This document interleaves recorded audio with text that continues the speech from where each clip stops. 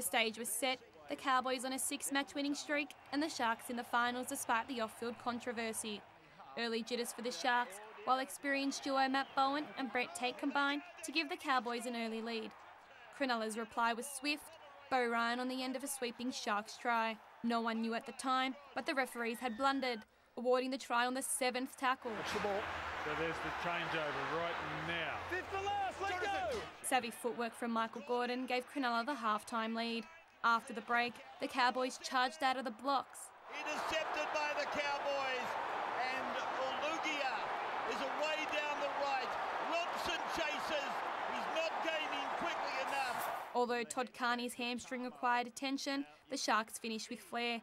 This, the match winner. Robson with a lovely long pass. It bounces away for Feki, and Feki scores. With 41 seconds left, the Cowboys travelled the length of the field for one last shot. He's got the ball. He's got Oh, the ball. He's got the leg out. Cronulla celebrated, but there was more drama with the official game clock. It's been way more than 40 seconds from the time that scrum went on until Gitters blew time off. Okay. So what's going on? The Sharks advancing to a showdown against the winner of tonight's Roosters Sea Eagles clash.